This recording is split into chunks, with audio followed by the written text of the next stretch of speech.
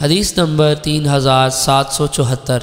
हज़रत बशीर बिन यसार रसूल अक्रम सल्लल्लाहु के उन बाज़ सहाबा कराम से रवायत करते हैं, जो उनके घर में रहते थे। उनमें हज़रत साहल बिन अबी हसमा रदी अल्लाह भी शामिल हैं। ये फरमाते थे कि ताज़ा खजूरों की छुहारों के एवज़ बाईस से रसूल अक्रम सल्लल्लाहु ने मना किया है और फरमाया कि ये सूद है और यही मजाबना है। अलबत् आपने बाईस बाई औरिया में इजाज़त दी है कि खजूर के एक दरख्त या दो दरख्तों की खजूरों के घर वाले छुहारे देकर ख़रीद लें।